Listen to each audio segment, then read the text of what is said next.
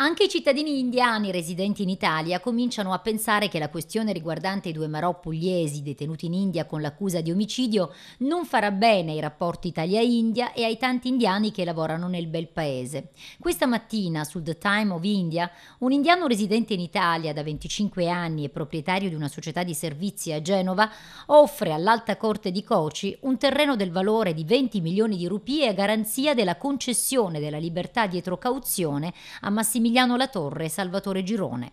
I due Marò da venerdì scorso sono stati trasferiti in un ex riformatorio ristrutturato nella città portuale di Coci. Intanto il fronte giudiziario si fa sempre più ingarbugliato. Questa mattina l'Alta Corte di Coci ha respinto il ricorso del governo italiano sulla giurisdizione da applicare alla Torre Girone, una decisione sulla quale l'Italia contava molto, ma evidentemente la fiducia italiana è stata disattesa. Il ricorso era stato presentato settimane fa. Nel frattempo l'Alta Corte di Coci è entrata in un periodo di vacanza. I capi d'accusa contro i due fucilieri pugliesi sono stati acquisiti dal giudice istruttore che li ha trasmessi ad un tribunale di primo grado per l'inizio del processo. Con uno scenario di questo tipo pare, secondo fonti ANSA, che la decisione di oggi fosse quasi scontata.